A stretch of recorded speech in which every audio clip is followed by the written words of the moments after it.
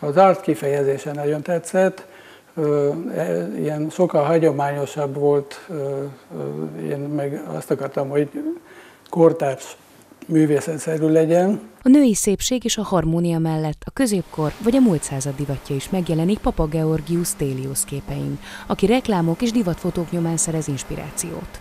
Az általa készített alkotások ezek parafrázisainak, azaz újraértelmezésének tekinthetők. Nekem érdekes volt a, az a fotóanyag, mert ezek fotók voltak korábban, egy divatfotósnak az anyaga, amiben ő, ő, ő időutazott.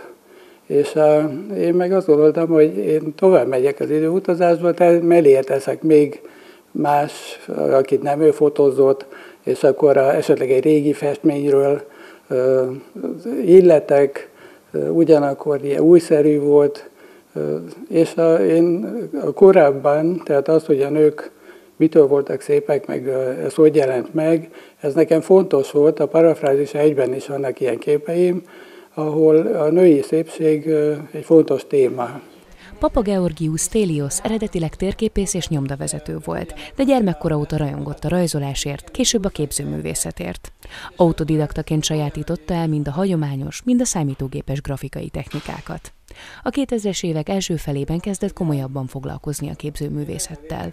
Egy teljesen újfajta vizuális művészeti ágat alapozott meg ebben az időszakban, amely a mai kortárs digitális művészet előfutárának is tekinthető.